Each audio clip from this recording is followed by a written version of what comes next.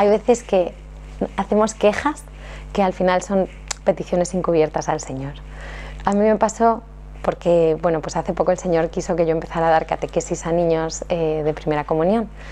Y, claro, me pone el Señor a dar catequesis, pero no me daba como demasiado tiempo, mi vida en nuestro día a día comunitario no tenía demasiados huecos como para que yo pudiera preparar la catequesis.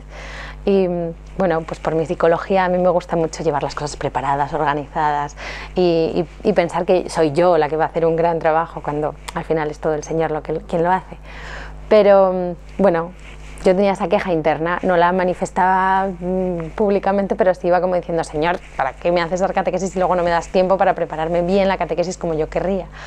Y digo, bueno, pues el fin de semana siguiente a que yo estuviera quejándome internamente, justo nos avisaron que em, a la hora a la que yo tengo que ir a la catequesis, o sea, a los domingos a la misa con los niños, resulta que también tienen que ir hermanas que van a cantar a la misma parroquia. Y entonces ellas cantan en la misa de una hora y yo tengo que estar en la catequesis, o sea, en la misa de niños con, en otra hora. Con lo cual, al final yo tenía una hora extra sentada en la parroquia donde digo, qué maravilla, voy a poder prepararme catequesis. Así que el Señor me ha hecho ese regalo de que de ahora en adelante yo ya sé que siempre cuento con esa hora porque aunque haya que hacer un montón de cosas en casa, yo no estoy en casa. Así que eh, el Señor escucha nuestras peticiones, aunque sean encubiertas en forma de queja y aunque no las manifestemos abiertamente, pero Él nos escucha y sabe cuáles son nuestras necesidades.